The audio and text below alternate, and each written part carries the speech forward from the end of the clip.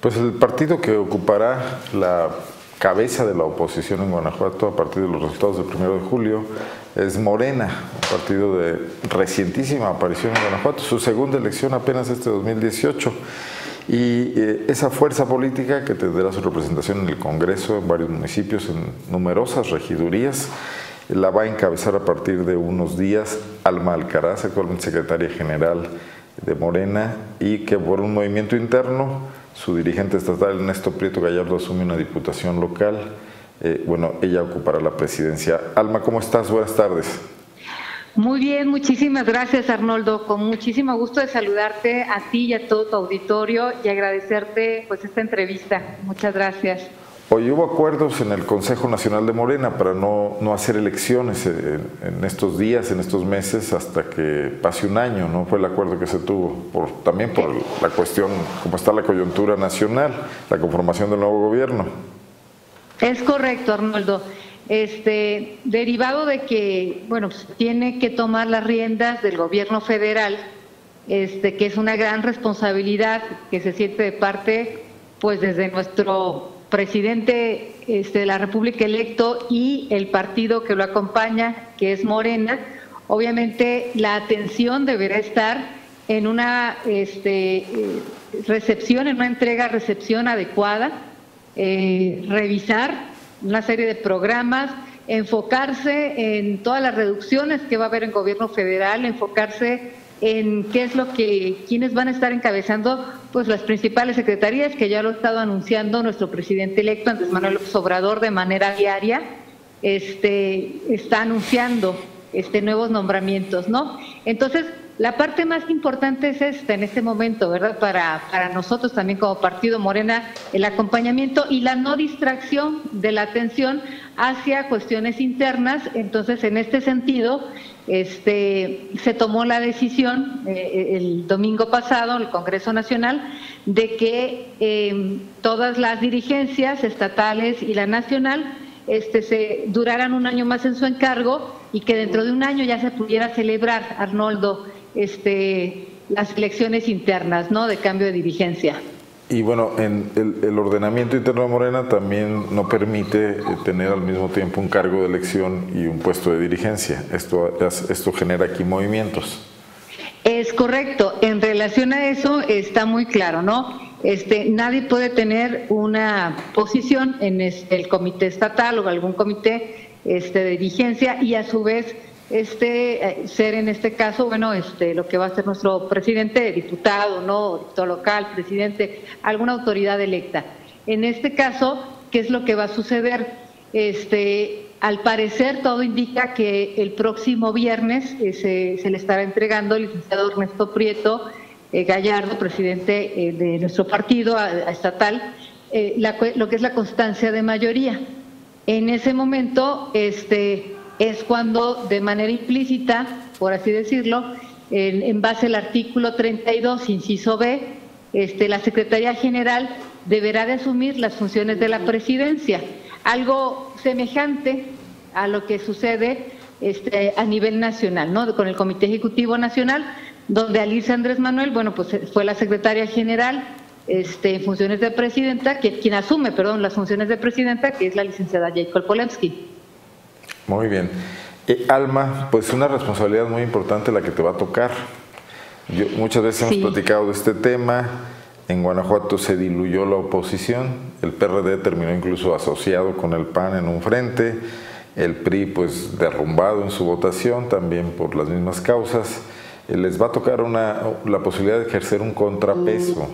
¿Qué, han platicado al respecto? Además, el único estado donde Morena no tuvo un triunfo electoral en las elecciones presidenciales del, pasado primero de julio. Es correcto, estimado Arnoldo. Mira, es una gran responsabilidad porque este, lo que se percibe y lo que, lo que se ha estado eh, más o menos sondeando, hemos estado sondeando, es que hay una especie de usos y costumbres, ¿no? Que era lo que habíamos platicado en algún momento, donde el PAN compra con mucha facilidad a la oposición, de tal manera que en cabildos tiene, tienen este, aprobaciones completas, en los congresos tienen aprobaciones completas. Estos usos y costumbres este, se dan obviamente en oscuro, donde no hay nadie, donde nadie dice nada, se dan incluso, te doy contratos, etcétera, ¿no? Para tus amigos, y a cambio obviamente La cooptación política. Exactamente, incluso andan ofreciendo ahorita hasta plazas, ¿no? A los regidores nuestros, ¿no? ¿Ya, ya está pasando esto, Alma? Ya está sucediendo, por supuesto, Arnoldo, este, ofrecimientos de este, plazas, ofrecimientos de contratos para lo que quieran, obviamente este, estos contratos que nunca se ejecutan, ¿no? Que nunca pasa nada. Este, pero que, sí los cobran. A eso vino el otro día Jacob Polensky, ¿no? A hablarles, a, leerles la cartilla a todos los nuevos funcionarios de Morena. Mira, la licenciada Jacob Polensky, nuestra presidenta nacional, este, o secretaria en funciones de presidenta, fue sumamente clara en este sentido. ¿no? Yo creo que todos los medios lo manejaron, ya no es secreto para nadie. Eh, vino a marcar la línea muy claramente. Aquí somos oposición y en el caso de la mayoría de nuestros regidores, este, van a actuar precisamente como oposición, excepto en cinco municipios que son donde ganamos, ¿no? Pero el resto de nuestros regidores eh, les tocará actuar como oposición. Y el tema es, eh, y la, la, invitación, el exhorto este, y la exigencia de alguna manera de nuestra presidenta este, fue ese precisamente, actuar como una oposición y una oposición que tenga visión, una oposición este, crítica, pero que también tenga una propuesta, de tal manera que ofrezcamos la mejor opción para la ciudadanía siempre. Oye, eh, eh, tus, tus alcaldes, tus regidores no fueron a los eh, cursos de capacitación que prepara el gobierno del Estado en estos días de futuros funcionarios municipales decidieron no ir por qué ¿Y, qué va a pasar con ellos, o sea, ¿va a haber algún otro tipo de, capacitación, Alma? Sí, mira, este, te, comento, Arnoldo, este, en este sentido, eh, ese mismo día también salió el tema de que había una invitación del gobierno del estado a la cual fue la licenciada también Jacob quien pidió que no se asistiera este que, tuviéramos mucho cuidado con este tipo de situaciones, con este tipo de invitaciones, este, precisamente para evitar lo que ya sabemos que, existe, ¿no? Entonces, en este sentido, sí se sustituye. Nosotros ya hemos estado dando talleres de capacitación a, nuestros, a, nuestros, a, nuestras autoridades electas. Ya se están celebrando este, diversas capacitaciones, este, Celaya, este, León, Próximamente tendremos otra en Irapuato, tendremos otra también en Celaya y van a venir otras más todavía. Eh, por parte del partido, nosotros estamos generando las capacitaciones necesarias para no para que no haya ni siquiera esa dependencia de parte del gobierno del estado para que no escuchen no y, que no, no no que no escuchen más bien que no reciban información sesgada, ¿no? Que no reciban información que obviamente sea conveniencia únicamente este, del partido en el poder. Digo, las reglas están muy claras, las leyes que van a normar su actuación, la constitución, los reglamentos municipales, la ley orgánica municipal. Creo que con eso, pues, si se lo aprenden, si lo, se familiarizan con ello, se, tendrán la capacitación plena para poder llevar a cabo sus gobiernos en forma eh, pues ordenada, ¿no? Es, así es, es correcto. Entonces, en ese sentido, este, el menor trato que pueda haber y obviamente el trato que llegara a haber ya de nuestros presidentes electos municipales, pues tendrá que ser una relación institucional y sobre todo lo que se lo que se va a buscar es que sean una relación relaciones este que sean eh, encuentros públicos, ¿no? Este donde nada en lo oscurito, nada este por debajo de la mesa, nada en encerronas, que todo sea público, ¿no? Y que se sepa qué temas fueron a tratar con tales o cuales este, personalidades que estarán en, el gobierno estatal o que ya están incluso ahorita, ¿no? En el, en el gobierno estatal actual. Y se reunirían con Diego Sinue, pero sería un evento público en un momento dado.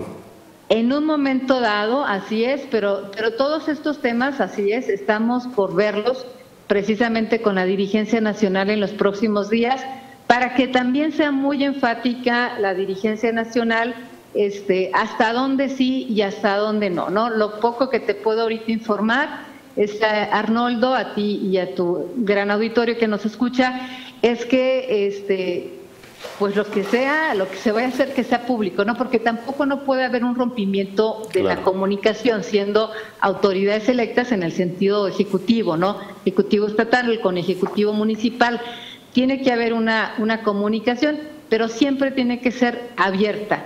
Esto a reserva a reserva de lo que nos vaya a indicar, obviamente, este, ya la dirigencia nacional, ya de manera muy puntual en este sentido, ¿no? Que a grandes rasgos estoy adelantando un poquito en, qué sentido va.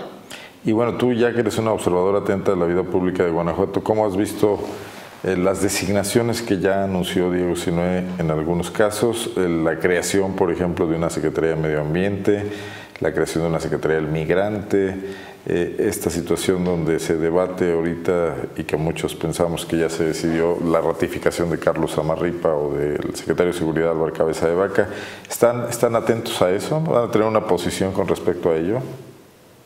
Sí, claro que sí. Mira, precisamente eh, el dirigente estatal actual en este momento, pues Ernesto Prieto, ha estado dando declaraciones precisamente en el tema, este, pues muy puntualmente de cabeza de vaca, ¿no? Obviamente hay un rechazo total, absoluto, ya que los números que han presentado, mira, es una situación que no la dice, eh, no es una situación, vaya, que, que sea como capricho, que sea como un arrebato. Los números de inseguridad pública muestran la poca o nula capacidad que se ha tenido en relación al tema de seguridad pública, Arnoldo. No es un tema de caprichos, no es un tema de, ah, es que se le ocurrió decir tal o cual cosa, no, de ninguna manera. Es una situación básicamente de que si revisamos los últimos números que arroja el Sistema Nacional de Seguridad Pública, nos estaremos dando cuenta en qué lugar está de nuevo posicionado Guanajuato. Está entre los primeros lugares otra vez. ¿Sí? De tal manera que en este sentido sería es, sumamente irresponsable que todavía sigan insistiendo en el nombramiento de esta persona, ¿sí? Y en relación al resto de, los eh, de las personas que ya se están mencionando como posibles secretarios, este, pues tendríamos que ver, ¿no? El desempeño que se que irán a generar y este, mientras lo que yo observo es que mientras a nivel federal están tratando de reducir la estructura burocrática, lo que estamos viendo en gobierno del Estado, pues es generar más instituciones, ¿no? Este, que realmente yo entiendo que el tema del migrante es sumamente delicado, pero el tema del migrante lo evitas generando empleos de buena calidad y evitas que la gente se te vaya y evitas que la gente esté buscando y esté atravesando eh, una, una frontera tan peligrosa como la que está ahorita como la que como la que tenemos en el norte del país, donde corren la vida. Entonces, lejos de crear una, una, una oficina del migrante, por el amor de Dios, que generen empleos de buena calidad, que generen empleos donde este, el poder adquisitivo de las personas aumente de tal manera que no tengan esta necesidad. Entonces, más que el hecho de estar generando, este, más el hecho de querer generar beneficios, yo creo que que volvemos a lo mismo, ¿no? El aumento de una burocracia, Arnoldo, y el hecho de generar puestos para los compadres, para los amigos y para la serie de compromisos que se hicieron en su momento. Lo mismo, la creación del medio, de esta oficina del medio ambiente, ¿no? El medio ambiente lo regulas evitando y poniendo reglas muy claras a las industrias en relación a la contaminación que existe, ¿no? Y no necesitas una oficina de esta naturaleza. Diversas oficinas te pueden generar estudios eh, diversas secretarías te pueden generar los estudios necesarios para que... Necesitas una política, no una secretaría. Exactamente, en ese tema necesitas toda una política pública, es correcto, no una mera ocurrencia de generar pues más, de, más burocracia que al final del día pues se paga con recursos tuyos, con recursos del pueblo, con recursos que todos pagamos, que todos le, aportamos, en, porque cuando compras cualquier cosa estás pagando ya impuestos, entonces en ese momento este, pues estás alimentando ¿no? todo este sistema burocrático y no se vale porque es recurso y es dinero de todos. Correcto. Alma, bueno, pues vamos a estar atentos. En caso de reunirse con Diego Sinue, pues me imagino que se lo harán saber así. Eh, estaremos atentos a esos diálogos y como tú dices, si son públicos, pues bienvenidos. Y, también a, los hechos cuando se concreten de tu eh, asunción como presidenta del, Morena en Guanajuato. Ya te invitaremos aquí al estudio. Será un placer, como siempre, estar por ahí. Con muchísimo gusto. Este, ¿En qué me baso, en qué nos basamos, Arnoldo? Nada más no, te quito ya mucho tiempo. Dime, adelante, por favor. Este, ¿En qué nos basamos? Mira, el artículo, porque por ahí ya empieza a haber voces, ¿verdad? Este, diferentes, pero son respetables y son este, entendibles.